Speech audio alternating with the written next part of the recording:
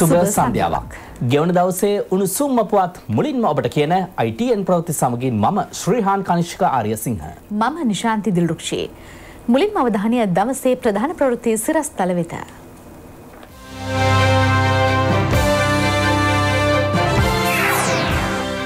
ඉන්දියාව කාටද සටන ඇරඹුණා. ජාත්‍යන්තර කම්කරු සැමරුමට ශ්‍රී ලංකාවත් එක් වෙයි. මන්ත්‍රී වරප්‍රසාද කඩවීම ගැන කතානායකවරයාට පැමිණිල්ලක්. කතානායකවරයට ඒ ලිපිය මගින් අපහස කරලා තියෙනවා. මේක දඩුවම් ලබන්න පුළුවන් වරදක්. විස්සයි විස්සේදී අපනයන ආදායම දිගුණයක් කිරීමේ ඉලක්කයක්. පලාත් ක්‍රිකට් තරගාවලියේ ගාල්ල හා කොළඹ සමශූරයක්.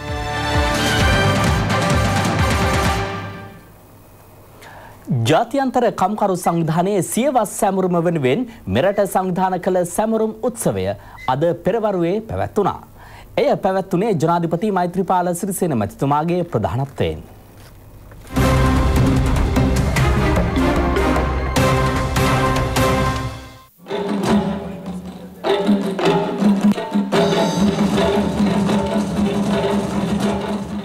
ජාත්‍යන්තර කම්කරු සංවිධානයේ සියවස් සැමරුම වෙනුවෙන් නෙළුම් පොකුණ රඟහලේ පැවති උත්සවය සඳහා ලොව මහද්වීප හතරක රටවල් විසි හතරක ජාතික වැඩසටහන් විසි හතරක් එක්කර සජීවී විසි හතර පැය ගෝලී විකාශන වැඩසටහනක් ලෙස පැවැත්වුණා.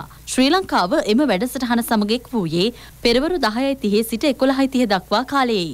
ජනාධිපති මෛත්‍රීපාල සිරිසෙන මැතිතුමාගේ විශේෂ සුභ පැතුම් පණිවිඩයක් එහිදී විකාශය කෙරුණා.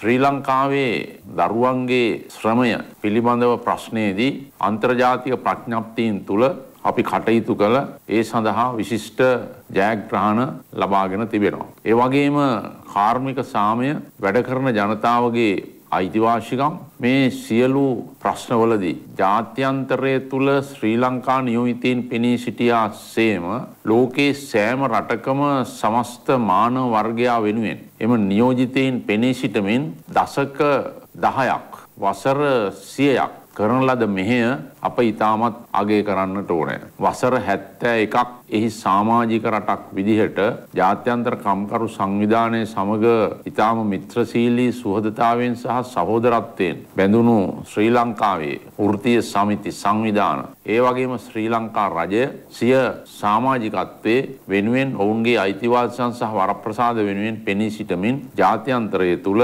පුළුල් මෙහෙවරක් ඉටුකර තිබෙනවා. මේ විශිෂ්ට කීර්තිමත් ජයග්‍රාහී ගමන් මගේ. ඉදිරි සියවස අභියෝගාත්මකයි කියා මා විශ්වාස කරනවා ගෙවී ගිය සියවසට වඩා. මෙම වැඩසටහන අතරතුර මෙරට කම්කරු ප්‍රජාව පිළිබඳ සිදු කළ පර්යේෂණාත්මක ප්‍රකාශනය කම්කරු හා වෘත්තීය සමිති කැබිනට් නොවන අමාත්‍ය රවින්ද්‍ර සමරවීර මහතා ජනාධිපතිතුමා වෙත පිළිගන්නනු ලැබුවා. එම සියවස් සැමරුම වෙනුවෙන් නිකුත් කළ සමරු මුද්දරය හා මුල්තින කවරය ජනාධිපතිතුමා වෙත පිළිගන්වනු ලැබුවේ තැපැල් සේවා හා මුස්ලිම් ආගමික කටයුතු අමාත්‍ය අබ්දුල් හලිම් මහතායි. දෙදහස් දාහත නොවැම්බර් මාසයේදී බුවනෝස් අයස් නගරයේ පැවති ළමාශ්‍රමය තිරසර ලෙස පිටුදැකීම පිළිබඳ දාහතර වන ජාත්‍යන්තර සමුළුවේදී ඇති කරගත් ප්‍රශ්නප්තියට ශ්‍රී ලංකාව අනුගත වූ බවට ප්‍රකාශය මෙහිදී ජනාධිපතිතුමා ජාත්‍යන්තර කම්කරු සංවිධානයේ ශ්‍රී ලංකා නියෝජිත සිම්රින් සිං මහත්මිය වෙත පිළිගන්නු ලැබුවා.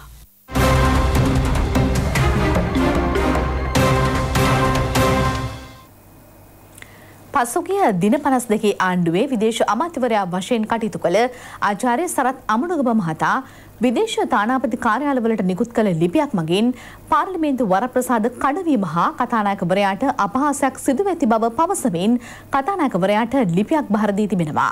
ඒ පාර්ලිමේන්තු මන්ත්‍රීවරුන් වන මහාචාර්ය ආශු මාරසිංහ හා මුජිබ රහුමාන් යන මහත්වරුන් විසින්. පෞගිය ඔක්තෝබර් මාසේ ආණ්ඩු ක්‍රම ව්‍යවස්ථාවට විරුද්ධව කුමන්ත්‍රණාකාරී විදියට බලය අත්පත් කරගත්තා. ඒ බලය අත්පත් කරගත්තට පස්සේ නොවෙම්බර් මාසේ දහවැනි දින එවකට විදේශ හැමති හැටියට පත්වෙලා හිටපු සරත් අමනුගම මැතිතුමාත් විදේශ අමාත්‍යංශයේ ලේකම්වරයා විදේශ රටවල්වල ඉන්න ශ්‍රී ලාංකික දූත පිරිස්වලට ලිපියක් යවලා දන්වලා තියෙනවා ලංකාවේ තත්ත්වය පිළිබඳ. ඒක තුළ පැහැදිලිවම කතානායකවරයට ඒ ලිපිය මගින් අපහස කරලා තියෙනවා. පාර්ලිමේන්තුවේ වරප්‍රසාද හා බලතල පනත යටතේ මේක දඩුවම් ලබන්න පුළුවන් වරදක්. මේකට විරුද්ධව පාර්ලිමේන්තුව ක්‍රියාත්මක වියතුයි කියන එක තමයි අපේ ඉල්ලීම අද කතානායකතුමාට අපි බාර දුන්නේ. පාර්ලිමේන්තු වරප්‍රසාද පාර්ලිමේන්තු අයිතීන් සුරකින්න ඕන. එහෙම නැති වුණොත් වෙන්නේ ලෝකේ හොඳම පාර්ලිමේන්තු ප්‍රජාතන්ත්‍රවාදයේ තියෙන රටක් හැටියට ඒ ඒ තියෙන අපේ අයිතීන් ටික අපිට විනාශලා යනවා. මේ හරහා වුන් උත්සාහ කරේ රටේ කීර්තිනාමයට හානි කිරීම පමණක් නෙමෙයි අයිතු විදිහට ඒ විදේශ දූත මණ්ඩල හරහා අන්තර්ජාතික බලපෑම ලබා ගන්න කියන කාරණේ තමයි මේ මතුවෙන්නේ. අලුත් අවුරුද්දට ගම්බිම් බලා යන ජනතාව වෙනුවෙන් මෙවරත් විශේෂ ප්‍රවාහන සේවා ක්‍රියාත්මකයි. බස්නහිර පලාතේ බස් නැවතුම්පල පනස් හයක් කේන්ද්‍ර කර ගනිමින් දුරගමන් සේවා ලබන විසියෙක් වනදාතය ක්‍රියාත්මක බව එම පලාත් මාර්ගස්ථ මගී ප්‍රවාහන අධිකාරිය පවසනවා. විශේෂ දුම්රිය සේවාද ක්‍රියාත්මකයි. අපේ නිවාඩු ගන්නලා තියෙන බස් හත තියෙනවා. ඒ නිවාඩු අවලං කළා බස් හත 6200ක් පමණ 21 වෙනිදා දක්වා අපි පළාත් තුල ධාවනයට එක්කලා තියෙනවා. මාර්ග 475ක් පමණ මේ අවුරුදු සේවා ක්‍රියාත්මකයි. ප්‍රධාන බස් නැවතුම් පොළවල් පහක සිට කොළඹ බැස්ටියන් මාවත ප්‍රධාන බස් නවතුම් පොළ, කඩුවෙල බස් නවතුම් පොළ, කටුනායක ඇවරිවත්ත බස් නවතුම් පොළ, කඩවත ප්‍රධාන බස් නවතුම් පොළ, පානදුර ප්‍රධාන බස් නවතුම් පොළේ සිට අපේ ජාතික ගමනාගමන කොමිෂන් සභාවට අවශ්‍ය කරන සහයෝගය ලබා දෙමින් අපේ බස් රායර පළාත තුළ තිබෙන අතිරේක බස් හත සාමාන්‍යයෙන් 750කට ආසන්න ප්‍රමාණයක් අපි මේ විශේෂ සේවා බස් හත සේවා පවත්වාගෙන යාමට ජාතික ගමනාගමන කොමිෂන් සභාවට අපි ලබා දීමට පියවර ගන්නවා. වැඩිපුර මුදල් අය කරොත් අපිට කතා කරන්න 0.112යි 860යි 860යි කියන දුරකථන අංකයට දොළොස්වෙන දින ගල්කිස් ඉඳලා යාපනය දක්වා දුම්රියක් දාගෙන එනවා ගල්කිස්සෙන් රාත්‍රී 9 කාලට කොටුවෙන් පිටත් වෙනවා රාත්‍රී 10ට යාපනයෙන් දුම්රියක් 13 වෙනිදා රාත්‍රී 8:50ට පිටත් වෙන දුම්රිය කොළඹ කොටුවට 4:28ට පැමිණලා 4:30ට කොළඹ කොටුවෙන් පිටත් වෙලා ගල්කිස්සට උදෑසන 5ට ළඟා වෙනවා. 12 කොළඹ කොටුව කුරුණෑගල අතර දුම්රියක් දාගෙන එනවා කොළඹින් පස්වරු 1:05ට පිටත් වෙලා කුරුණෑගලට 3:08ට ළඟා වෙනවා. කුරුණෑගලින් පස්වරු 4ට පිටත් වෙන දුම්රිය කොළඹ කොටුවට 5:54ට ළඟා වෙනවා. මරදානෙන් ගාල්ල දක්වා දොලා දහතුන දාසය යන දිනවල පෙරු නමය විස්සට දුම්රියක් පිටත් වෙනවා. ගාලට දොළහයි දෙකට ළඟා වෙනවා නගරාන්ත ශ්‍රීග්‍රාමී දුම්රියක් දායනවා උදෑසන හයයි පහට මරදානෙන් දොළහා දහතුන පහළව දාසය යන දිනවල දොලා දහතුන පහළව දාසය යන දිනවල මාතරින් පත්සරු හතරට පිටත්වන ශ්‍රීග්‍රාමී දුම්රිය මරදානට ළඟා වෙනවා හයයි හතලිස් හයට පස්සරු තුනයි පනස් පහට වවුනියා යන නගරාන්ත ශ්‍රීග්‍රාමී දුම්රිය දොළහා සහ දහතුන දින දෙකේ යාපනය දක්වා දීර්ඝ කරලා තියෙනවා. ආපසු වෙන මගින් සඳහා යාපනයෙන් පාලොස්වෙන්ද දුම්රියක් කොළඹට ළඟා වෙනවා බදුල්ලෙන් පහළව දාහත දානමේ විසියක විශේෂ දුම්රියක් ළඟා වෙනවා මහනුවරින් දාසේ වෙන්ද විශේෂ දුම්රියක් ළඟා වෙන ඊට අමතරව පාලොස්වෙන්ද විසියට වෙන්ද වෙනකන් නගරාන්ත ශ්‍රීග්‍රාමී දුම්රියක් වෙනවා කාල්ලෙන් පහළව දාසය මාතරින් පහළව දාසය විශේෂ දුම්රිය දාවනවා. දින පනස් දෙකේ අර්බුදය පැවති කාලයේදී රට තුළ ඖෂධ හිඟයක්ද ඇති වූ බව අමාත්‍ය රාජිත සෙනරත්න මහතා පවසනවා. ශ්‍රී ලංකා රජයේ ප්‍රතිපාදන මත ගිලන් රථ එකසිය දහටක් බෙදාදීම වෙනුවෙන් පැවති උත්සවයට එක්වෙමින් අමාත්‍යවරයා මේ බව කියා සිටියා. ජර්මනිය නිෂ්පාතිත මෙම ගිලන් රථ සියලු පහසුකම් වලින් සමන්විතයි. නියෝජ්‍ය අමාත්‍ය ෆයිසාල් කාසීම් දඹදෙනි ආසනයේ එක්සත් ජාතික පක්ෂ සංවිධායක රූකාන්ත ගුණතිලක යන මහත්වරුන් ඇතුළු පිරිසක් මෙම අවස්ථාවට එක් වුණා. නිදහස් සෞඛ්‍ය සේවාවක් පවතින රටක් ලෙස ශ්‍රී ලංකාවට නෝපුරා ඉහළ පිළිගැනීමක් පවතින බවද අමාත්‍යවරයා මෙහිදී ප්‍රකාශ කළා. ලදරු ඒකක බිහි කරලා තිබෙන හැම තැනකටම රෝහලකට එක ගානේ අපි ගිලන් රථ 10ක් මේ වර අපි ලබා දෙනවා. ඒගොල්ලෝ වෙනමම පුහුණුවලත් ඒ එදියන් සහ වෛද්‍යවරුන් ඒකේ ප්‍රවාහනය කරනවා ඒ නව ජන්ම ලදරුවන්ව. මේ අනුව තව 40ක් අපිට තියෙනවා බෙන්ස් ගිලන් රථ බෙදා හැරින්නට අපි ඒවත් නොබෝ දෙනකින් බෙදා හරිනවා. හැම රෝගීන්ට අවශ්‍ය හැම පහසුකමක්ම අපි ලබා දීමට තමයි මේ රජය අපි තීන්දුව කරලා තිබෙන්නේ. දවස් 52 අර්බුදය තුල ඖෂධ 216ක් මං ආපහු වෙනකොට හිඟ වෙලා තියුණා නෑ පිළික ඖෂධ පවා නැති වුණා. ඒ තමයි දවස් 52 පෙරළියේ ප්‍රතිඵල. නමුත් තව ටික කලකින් අපි සම්පූර්ණ නැවත ඖෂධ කිසිදු හිඟයකින් තොරව අපි ඖෂධ ලබා ලෝක සෞඛ්‍ය සංවිධානයේ පිළිගැනීම අනුව ලෝකයේ තියෙන හොඳම නිදහස් සෞඛ්‍ය සේවය තියෙන්නේ ලංකාවෙත් කියුබාවෙත් කියලා තමයි ඔවුන්ගේම අලුත්ම වාර්තාවල සඳහන් වෙන්නේ. අලව්ව රෝහලට ගිලන් රථයක් මං ඉල්ලලා තමයි මගේ පළවෙනිම ලියුමත් සං කරලා බාර දුන්නේ. මට ඒක ඉතාම කෙටි කාලෙකින් මාසකින් පමණ පිට අතට පත් වනාද තාම සතුට වෙන එකම ස්තුතිවන්ත වෙනවා. අලව්වට නොෙක් නොෙක් අතුරු බාධා කරදර තිබුණා ගිලන් රත සම්බන්ධව. අපි කාගෙත් වක්කීමත් තිබෙනවා. ජනතාවගේ මේක ගමන් කරන රෝහල් කාර්යමණ්ඩල මේ ඉතාම ආදරෙන් තමුන්ගේ පුද්ගලීක දෙයක් පාවිච්චි කරන විදිට පරිහරණය කරන්න ඊටත් වඩා හොඳට පරිහරණය කරන්න මොකද වටිනා නියම ගිලන් රතයක් සාමාන්‍ය රතයක් ගිලන් රතයක් බවට පත් කරප එකක් නෙමේ. ඒකින්ද සම්පූර්ණ වටනාකම තියන්න මේ හරියට පාවිච්චි කරු අපිට තවත් ගිලන් රතයක් ලබා ගන්න පුළුවන්. ජනාධිපති මාධ්‍ය සම්මාන උළලේදී ITN මාධ්‍ය ජාලයට සම්මාන රැසක් හිමි වුණා. එමෙන්ම ITN මාධ්‍ය ජාලයේ කිහිප දෙනෙකුම සම්මාන සඳහා නිර්දේශ වී සිටියා. ජනමාධ්‍යවේදීන්ගේ කුසලතා හැකියාවන් හා සුවිශේෂී නිපුණතා ඇගීම වෙනුවෙන් පළමු වරටයි මෙවර සම්මාන උළෙල පැවැත්වුණේ. ජනාධිපති මෛත්‍රීපාල සිරිසේන මැතිතුමාගේ ප්‍රධානත්වයෙන් සම්මාන උළෙල පැවැත්වුණා.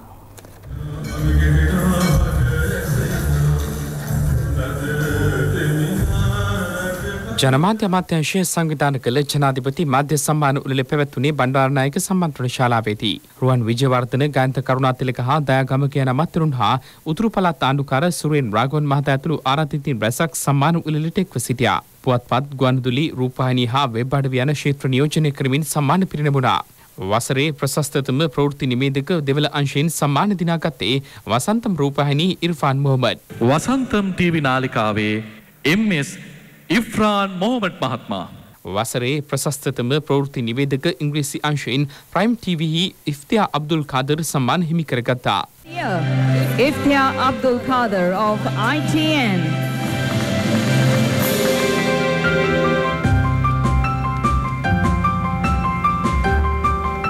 වසරේ ප්‍රශස්තතම ගුවන්විදුලි වැඩසටහන් ලෙස ITN FM මේ ප්‍රචාරය වූ නොනිමි චාරිකා වැඩසටහනට හිමි සම්මානය ඉන්ද්‍රසිරි සුරවීර හිමි කරගත්තා. නොනිමී චාරිකා වැඩසටහන වෙනුවෙන් ඉන්ද්‍රසිරි සුරවීර මහතා. වසරේ ප්‍රශස්තතම වැඩසටහන් ඉදිරිපත් කිරීම දෙමළ අංශයේ සම්මානය හිමි කරගත්තේ වසන්තම් රූපවාහිනී MSM මොසාරප් විසින්. Wasantam TV, Mohammad Musharraf, Best Program Presenter of the Year, Tamil. වසරේ ප්‍රශස්තතම ගවේශනාත්මක වැඩසටහන් සඳහා නිර්දේශ වූ තිදෙනාම අයිටන් මාධ්‍යජාලයෙන් නිර්දේශවීම විශේෂත්වයක්. දුෂාන්ත දර්ශන ඉන්දික වීරකොන් හා ඉර්ෆාන් මොහමද නිර්දේශිත නාම අතරට එක් වුණා. එම අංශයේ සම්මානය හිමි වූයේ ඉර්ෆාන් මොහමද්ටයි.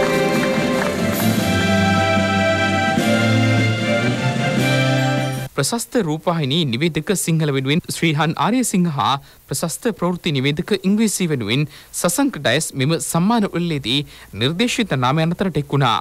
ප්‍රශස්තතම ප්‍රවෘත්ති වාර්තාකරණ වෙනුවෙන් ITNහි ඉන්දික වීරකොන් නිර්දේශ වුණු අතර ප්‍රශස්තතම අධ්‍යාපනික වැඩසටහන සඳහා උදිත දේනුවර නිර්දේශ වුණා. හොඳම රූපහිනී සම්ප්‍රවේශක සම්මානය සඳහා සිතාරා කළුආරච්චිද නිර්දේශ වුණා. වසරේ හොඳම ප්‍රවෘත්ති වාර්තාකරණයේ දෙමළ මාධ්‍ය සඳහා වසන්තම් TV ප්‍රවෘත්ති අංශයේ MFM පරහන් හා වසරේ හොඳම දෙමළ ප්‍රවෘත්ති නිවේදක ලෙස වසන්තම් TVහි කේ පුණ්‍යමූර්ති නිර්දේශ වී සිටියා. මාධ්‍ය ක්ෂේත්‍රය වෙනුවෙන් සුවිශේෂී මෙහෙවරක් ඉටු කළ ජේස්තීන් වෙනුවෙන් ජීවිතේ එක්වරක් පෙදෙන විශේෂ සම්මාන හතරක් පිරිනැමුණා. පුවත්පත් ක්ෂේත්‍රය වෙනුවෙන් ජේෂ්ඨ මාධ්‍යවේදී කලාකීර්ති එඩ්වින් ආරිදාස මහතාට මෙම සම්මානය පිළිගැන්වුණා.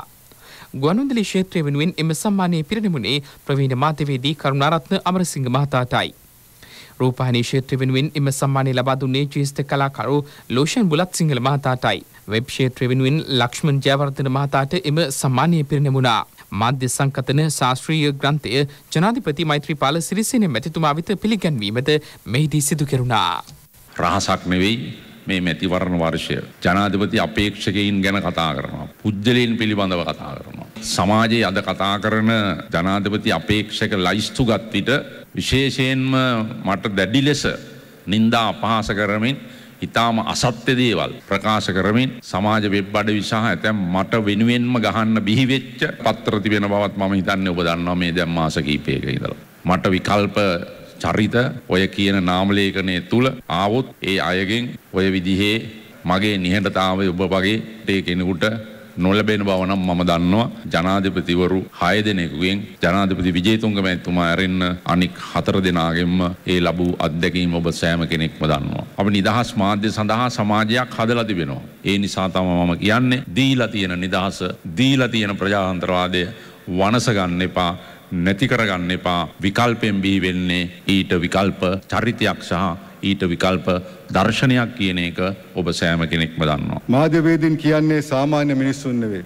ඔවුන්ට නිවාඩු දවසක් නැහැ. රැයක් දවාලයක් නැහැ. සමහර අවස්ථාවල ගෙවල් දොරවල් නැති අය ලෙස තම පෞද්ගලික ජීවිතය පස කලා තම වෘත්තිය වෙනුවෙන් වෙහෙස මහන්සිව තම රාජකාරිය මහජනතාව වෙනුවෙන් ඉටු කරනවා. මාධ්‍යවේදයා සිදු කරන නිහඬ සේවයට නිසි ගෞරවයක් හා ඇගීමක් ලබා දෙන්න මාතුළ බොහෝ කලකට සිට පැවති අදහසක් තමයි අද දින මේ විදිහට මල්පල ගැන්වී තිබෙන්නේ. වර්තමානයේ මාධ්‍ය නිදහස උපරේම තිබෙනවා. ඔවුන්ට තමන්ගේ රාජකාරය නිදහසේ මනසකින් යුක්තව ඇත්ත ඇති සැටින් වාර්තා කිරීමට මේ වන විට පරිසරයක් සකස් වී තිබෙනවා. වැඩිහිටියන්ට ලබා දෙන මහජන ආධාරය ඔවුන්ගේ නිවසටම ලැබෙන්නට සලස්වන්නේ නම් එය ඔවුන්ට කරන විශාල උපකාරයක් බව විපක්ෂනායක මහින්ද රාජපක්ෂ මහතා පවසනවා. තංගල්ල රුහුණු කරලිය සංවිධානයේ මෙහෙයවීමෙන් තංගල්ල තැපැල් කාර්යාල බල ප්‍රදේශයේ මහජන ආධාර ලබන වැඩිහිටියන් දෙසිය දෙනෙකුට දිවා ආහාරය ලබා දීම සිදු කෙරුණා. විපක්ෂ නායක මහින්ද රාජපක්ෂ මහතාගේ ප්‍රධානත්වයෙන් පැවති එම වැඩසටහනේදී වැඩිහිටියන්ට ත්‍යාග ලබා දීමටද කටයුතු කෙරුණා. තංගල්ල වනවාස කුඩා විහාරස්ථානයේ පැවති මෙම පින්කමට පාර්ලිමේන්තු මන්ත්‍රී නාමල් රාජපක්ෂ මහතාද එක්ව සිටියා. දීමනා කැපීම පිළිබඳව අන්න නැගුණා. ඒ වගේම ලැබෙන මුදල ලැබෙන්නේ කැපකන්තුරට විලා ගන්න ඕන. ඒකට රුපියල් 200ක් විතර යනවා. නාමසේවක මගින් මේ මුදල ලබා දෙන්නේ කියන ඉල්ලීම තමයි උන් කරන්නේ. වැඩිහිටි මුදල් වැඩි වෙන්න ඕන විතරක් නෙවෙයි. ඒ අයගේ මුදල් උන්ගේ ගෙදරට ලැබෙන්න සලස්වන්න. ජනාධිපති මෛත්‍රීපාල සිරිසේන මැතිතුමාට තම දුර කාලය වැඩි කර ගැනීමට කිසිදු අදහසක් නැති බව පාර්ලිමේන්තු මන්ත්‍රී ශාන්ත බණ්ඩාර මහතා පවසනවා. මාධ්‍ය හමුකට එක්වෙමින් ඒ මහතා මේ බව කියා සිටියා. ඉතින් තමන්ගේ බලය අත්හැරපු නායකයෙක් නැවත බලය සම්බන්ධව උරගා බලන්න උත්සාහ කරන්නේ නැහැ. ඒ නිසා මේ ජනාධිපතිතුමා මේ සම්බන්ධයෙන් කිසිදු තාම මතයක් ප්‍රකාශ කරලත් නැහැ. ජනාධිපතිතුමා බලය ලබා ගැනීමේ අරමුණින් කාලය වැඩි කරගන්න ඕනේ කියන අදහසක් නැහැ. අපේ මතය තමයි සාමාන්‍ය රටේ පවතින නීතිය අනුව ජනාධිපතිතුමාට හිමි කාලය තුලදී ජනාධිපතිතුමා ඒ දූර කාලයේ කටයුතු කරයි. රට වෙනුවෙන් එකට සිටිමු ජාතික සංවර්ධන වැඩසටහනේ සිව්වන දිනය අදයි. මෙම වැඩසටහන යටතේ ඊයේ දිනේ වන විට ව්‍යාපෘති 646ක් ක්‍රියාත්මක කරමින් ප්‍රතිලාභීන් 1,50,000කට සහන සලසා තිබුණා. මේ සම්බන්ධයෙන් එහි සිට තොරතුරු ගෙනෙන්නේ අප මාණ්ඩලික වාර්තාකරු ඉන්දික තුෂාර. සංවර්ධන නවෝදයත් එක්ක පිබිදෙන මඩකලපුව දිස්ත්‍රික්කයේ ජනතාව වෙනුවෙන් ක්‍රියාත්මක රට වෙනුවෙන් එකට සිටිමු ජාතික වැඩසටහනේ අද හතරවෙනි දවසයි. ප්‍රාදේශීය ලේකම් කොට්ටාස දා හතරක් ආවරණය වන පරිදි විවිධ වැඩසටහන් අද දවස පුරාවටම ක්‍රියාත්මක වුණා. ඒ සඳහා මඩකල්පුව දිස්ත්‍රික්කයේ ජනතාවගෙන් ලැබුණේ උණුසුම් ප්‍රසාදයක්. ජනතාව මේ සඳහා ඉතා උනන්දුවෙන් ඕනෑකමින් අද දවස පුරාවටමත් සහභාගී වුණා. මහවැලි හා පරිසර අමාත්‍යංශ යටතේ ක්‍රියාත්මක වන මැණික් හා ස්වර්ණාභරණ පර්යේෂණ හා අභ්‍යාස ආයතනයෙන් පුහුණු මධ්‍යස්ථානයක් මඩකලපුව කල්ලඩි ප්‍රදේශයේ ආරම්භ කළා. සාම්ප්‍රදායික මැණික් හා ස්වර්ණාභරණ කර්මාන්තය නූතන වෙළඳපළ ඉල්ලුම හා සැසඳෙන පරිදි ශිල්පීය වශයෙන් වැඩි දියුණු කිරීම මෙහි අරමුණයි. මඩකලපුව දිස්ත්‍රික්කය තුළ සාම්ප්‍රදායික ස්වර්ණාභරණ කර්මාන්තය කෙරෙහි වැඩි නැඹුරුවක් පවතින අතර දේශය මෙන්ම ජාත්‍යන්තර වෙළඳපළ තුළද මෙම නිෂ්පාදන සඳහා ඉහළ ඉල්ලුමක් පවතිනවා. වකුගඩු රෝග ව්‍යාප්තිය පිළිබඳ වෛද්‍ය සායනයක්ද අද පෙරවරුවේ පැවැත්වුණා. ඒ පැවැත්වුණේ වවුනතිව් මණ්ඩපත්තඩි පවුල් සෞඛ්‍ය සේවා මධ්‍යස්ථානයේ. විදේශ කටයුතු අමාත්‍යංශය සංවිධාන කළ ජංගම සේවාවක් අද පැවැත්වුණේ චෙංකලඩි ප්‍රාදේශීය ලේකම් කාර්යාලයේදී. විදේශගත වීමේදී හා විදේශ රැකියාවල නිරතවීමේදී මුහුණ දීමට සිදුවන ගැටලු නිරාකරණය කර ගැනීමේ අරමුණෙන් මෙය සංවිධාන කර තිබුණා. වෙට්ටිකුලම් හා නඩික්කුලම් වැව්වල පාසි හා රොන්මඩ ඉවත් කර ප්‍රතිසංවර්ධනය කිරීමේ වැඩසටහනක්ද අද දිනේ ක්‍රියාත්මක වුණා. ගොවි ජනතාවට වගාව සඳහා අවශ්‍ය ජල පහසුකම් සැපීමේ අරමුණෙන් මේ ක්‍රියාත්මක කළ අතර එහි ශ්‍රමදායකත්වය සිදු කළේ යුද හමුදාවයි. ඔට්ටමාවඩි ගම්මානයේ ජනතාවට ජලපොම්ප සහ අඹ පැල බෙදාදීමක්ද රට වෙනුවෙන් එකට සිටිම ව්‍යාපෘතිය මගින් සිදු කළා. රටකජු බීජ බෙදාදීම සහ එම වගා පිළිබඳව ගොවීන්ට විශේෂ පුහුණුවක් ලබා දීමද සිදු කෙරුණේ ඊට සමගාමීවයි. ප්‍රාදේශීය ලේකම් කොට්ටාස මට්ටමින් මහජන සේවා එකසි එක්කොළහක් ජනාධිපති ලේකම් කාර්යාලය මඩකලප දිස්ත්‍රික්කය තුළ ක්‍රියාත්මක කර ඇති අතර ඒ සඳහා වැය කර ඇති මුදල රුපියල් මිලියන හතරයි දශම තුනක්. විවිධ අමාත්‍යංශ රාජ්‍ය ආයතනවල සහයෝගෙන් මේ දිස්ත්‍රික්කයට ආවේනික වූ ප්‍රශ්න විදිහට හඳුනාගෙන තිබෙන ඉඩම් ප්‍රශ්න පිළිබඳ ගැටලු සෞඛ්‍ය පිළිබඳව පානීය ජලය පිළිබඳව මම්මාවත් මේ සියල්ලක්ම විශේෂයෙන් පරිසරයේ පිරිසුදු කිරීම පරිසර සුරක්ෂතා වැඩසටහන් මේ දිස්ත්‍රික්කයේ විශේෂ අවධානය යොමු කළ යුතු මහජන ගැටලු හඳුනාගෙන සියලුම රාජ්‍ය තන්ත්‍රයේ එවැනි මෙහෙවීම තමයි දිස්ත්‍රික් ලේකම් කාර්යාලය තුලින් කරන්නේ. මධ්‍යම රජයේ ප්‍රතිපාදන යටතේ මහජන ව්‍යාපෘති හාරසිය හතලිස් දෙකක් මෙම සතිය පුරා ක්‍රියාත්මක කරන අතර ඒ සඳහා වැය කරන මුදල රුපියල් මිලියන දෙකයි දශම එකක්.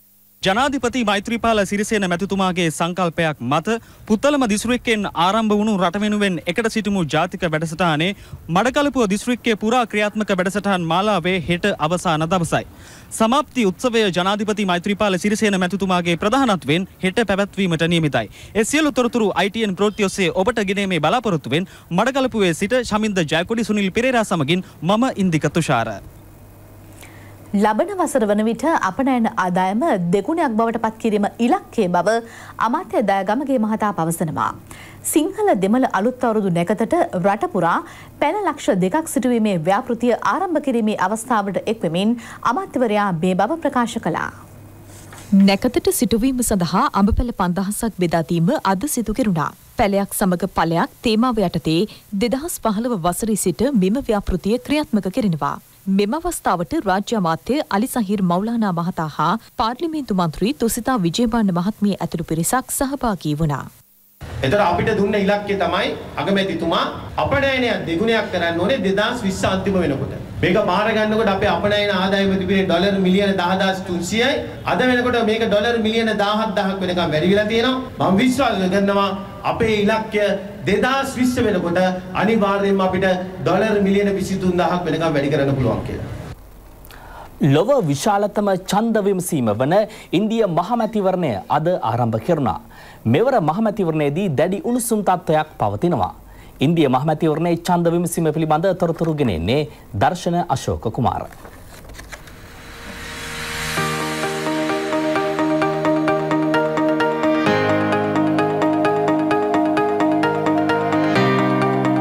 මේ ඉන්දියාවේ මහ මැතිවරණය එක් දවසකින් අවසන් වන මැතිවරණයක් නෙමේ. අද ආරම්භච්ච මහ මැතිවරණය මේ මාසේ දහ නමවෙනි දවෙනකම් පැත්වෙනවා. මිලියන නමසීයක චන්දදායකයන් පිරිසකගේ මතය තීරණය කිරීම තමයි මේදී සිද්ධ වෙන්නේ. ඒ නිසා එක දිනයකින් මේ මැතිවරණ ක්‍රියාවලිය අවසන් කිරීමේ හැකියාවක් නැහැ. මේ මැතිවරණ ක්‍රියාවලින් අධීර හතක් යටතේ ක්‍රියාත්මක වෙනවා. මේ මාසේ විසි තුන්වෙනිදා චන්ද ගණන් කිරීම සිද්ධෙනවා ඒ අනුව තමයි ඉන්දියාවේ කෞද්ද ඊළඟ අග්‍රාමාත්‍යවරයා කියන තීරණය එළඹෙන්නේ. ඉන්දීය අග්‍රාමාත්‍යවරයා දෙදස් දා හතර වසරේ පැතිච්ච මහමැතිවරණයේදී පොරොන්දු කිහිපයක් ලබා දුන්න. මේ පොරොන්දු කිසිවක් නරේන්ද්‍ර මෝදී අතින් ඉෂ්ටවුණේ නැහැ. මේ නිසා ඉන්දියාව තුළ ඔහුට විරෝධී විශාල ජනමතයක් ගොඩනැගමින් තිබුණ ප්‍රාන්ත මැතිවරණවලදී නරේන්ද්‍ර මෝදිට විශාල පසුබෑමක් සිද්ධ වෙමින් ඉන්දීය කොංග්‍රසේ නායකයා රාහුල් ගාන්ධි ඉස්සරහට එන ස්වරූපයක් අපි දැක්කා. රාහුල් ගාන්ධී ප්‍රධාන වශයෙන්ම තරුණ තරුණියන් කෙරෙහි. යම් ආකාරයකට අවධානයක් යොමු කරලා තමන්ගේ සැලස්ම සකස් කරගෙන තිබෙනවා. ඇතම් විචාරකයන් සඳහන් කරන්නේ රාහුල් ගාන්ධිගේ ප්‍රවේශය අරවින්ද් කේජ්‍රිවාල්ගේ ප්‍රවේශයට යම් ආකාරයකට සමානයි කියලා. අරවින්ද කේජ්‍රිවාල් කියන නවදිල්ලි මහාමතිවරයා බවට පත්වෙච්ච පුද්ගලයා. මේ මැතිවරණය තිබෙන ප්‍රධාන සාධකයක් බවට පත්වෙන්න පුළුවන් කාශ්මීර ගැටලුව. ඉන්දීය ජනතාව තුළ යම් අදහසක් ගොඩ නැගුණ ඉන්දියාවට දැඩිනායකයකු අවශ්‍යය කියන මතේ. අන්න ඒ අවස්ථාවේදී රාහුල් ගාන්ධිට වඩා ඉදිරියට පැමිණීමේ හැකියාවක් අනිවාර්යයෙන්ම තිබෙනවා නරේන්ද්‍ර මෝදිට. ඉන්දයානු මහමැතිවරණය හුදෙක් ඉන්දියාවට පමණක් සීමාවන කාරණයක් වන්නේ නැහැ. අප දන්නවා චීනය පාකිස්තානය තුළ යම්මාකාරයකට ඉන්දීය විරෝධීආකාරය පාකිස්තාන්ට සිද්ධ කරනවා ඒ වගේම මාලදිවයිනට ඉන්දියාව චීනය දැක්වූ සහයෝගය මෙන්න මේ කාරණා තුළදී මෙන්න මේ දේශපාලනික කාරණා තුළදී මේ ඉන්දියාවේ ඊළඟ පිම්ම ඊළඟ මහමැතිවරණය මේ කලාබීය දේශපාලන බල සමීකරණය තීරණය කිරීම සඳහාත් ප්‍රධාන වශයෙන් බලපානවා. දැන් ක්‍රීඩාපුවත්. සුප්‍රි පලාත් ක්‍රිකට් තරඟාවලියේ ගල් හා කොළඹ කණ්ඩායම් සමශූරතා දිනා ගැනීමට සමත් වුණා. ඒ අවසන් මහා තරගයේදී වර්ෂාවෙන් බාධා එල්ලවීම හේතුවෙන්.